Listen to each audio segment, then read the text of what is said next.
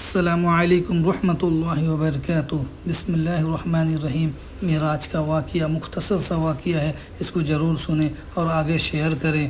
اللہ تعالیٰ قرآن میں فرماتا ہے سبحان الذي اسرا بعبده ليلا من المسجد الحرام الى المسجد الاقصى الذي باركنا حوله لنريه من آياتنا انه هو السميع البصير پاک ہے وہ اللہ تعالیٰ جو اپنے بندے کو رات ہی رات میں مسجد حرام سے مسجد اقصہ تک لے گیا، جس کے آس پاس ہم نے برکت دے رکھی ہے۔ اس لیے کہ ہم اسے اپنی قدرت کے بعض نمونے دکھائیں۔ یقیناً اللہ تعالیٰ ہی خوب سننے والا، سننے دیکھنے والا ہے۔ یقین جانے کہ ہم کتنے خوش نصیب انسان ہیں جو پیارے نبی صلی اللہ علیہ وسلم، صلی اللہ علیہ وسلم کی امت میں پیدا ہوئے۔ ہم خوش نصیب انسان ہیں، یقین مانیں۔ اللہ تعالیٰ نے کتنے خوش نصیب ہمیں بنایا ہے۔ پھر آپ صلی اللہ علیہ وسلم معراج کی طرف جانے لگے تو اللہ تعالیٰ نے میرے نبی کو عزت و احترام سے لے لے کر آئیں تو آپ صلی اللہ علیہ وسلم مجید اقصہ سے جب چلیں تو یہی دعا پڑھ رہے تھے۔ یہی آپ کی زبان پہ ورد تھا۔ التحیات للہ والصلوات والطیبات۔ میری تمام قولی، فعلی اور مالی عبادتیں اللہ ہی کے لیے ہیں۔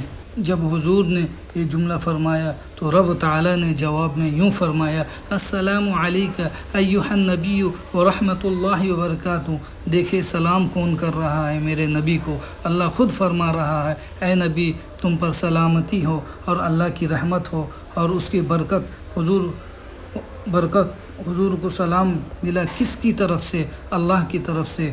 اور اس کے بعد حضور صلی اللہ علیہ وسلم نے پھر دوبارہ یوں عرض کیا، دیکھیں یہ بھی موقع کیسا ہے۔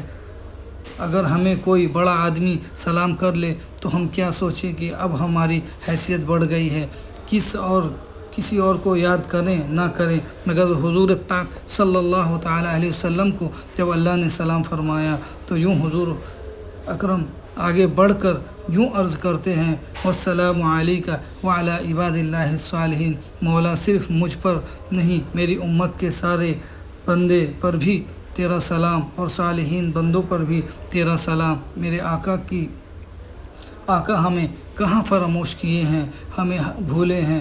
میرے آقا رسول اللہ کریم صلی اللہ علیہ وسلم نے ہمیں کسی جگہ پر چھوڑا نہیں۔ اے میرے عزیز و اللہ کے حبیب صلی اللہ علیہ وسلم نے جب یہ عرض کیا، سارے ملائکہ سن رہے تھے۔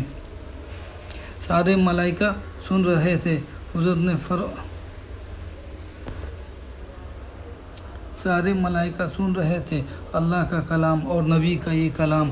حضور نے پہلے کیا کہا؟ اللہ کی تعریف میں۔ تو رب تعالیٰ نے فرمایا، السلام علیکہ ایوہ النبی و رحمۃ اللہ وبرکاتہ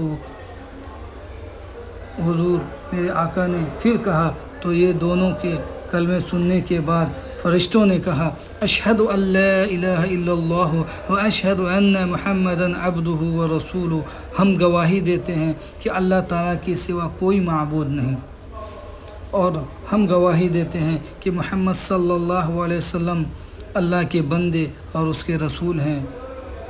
اگر کوئی اتحیات کا اتنا سا ٹکڑا بھی پڑھ لے تو پوری میرا سمجھ میں آئے، آ جائے۔